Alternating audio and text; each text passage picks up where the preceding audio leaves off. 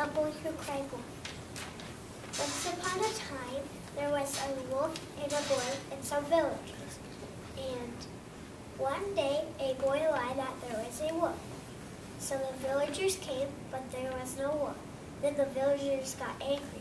The next day, the wolf really came. So he said, There's a wolf. But the villagers didn't come because they didn't believe the boy. So the moral to this tale is don't lie when something didn't happen.